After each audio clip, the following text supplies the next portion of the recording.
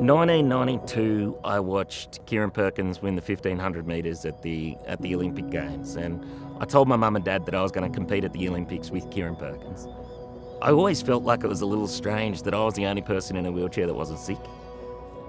And then I saw Paralympic sport, and my life was just, it turned in a completely different direction. And that was, I knew just that's where I needed to be.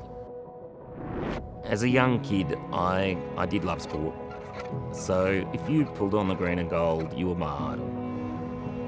And I, I still kind of hold the green and gold up that way. I think there's something really meaningful should you ever get given the opportunity to pull it on. I remember my first race was an 800 metres, and I thought that was the longest thing that the world had ever produced.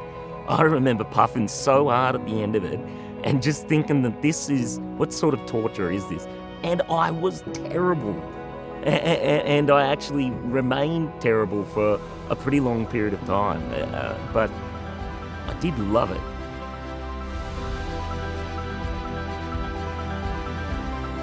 I love athletics. Uh, I, in particular, I love the marathon. Getting out there and you get to battle not against just your competitor, but you've also got variation in course and undulation of hills and just so many outside influences that I just find that really just fun. Sport is calling, it's an invitation for every person around the place to find what sport it is that, that they feel passionate about.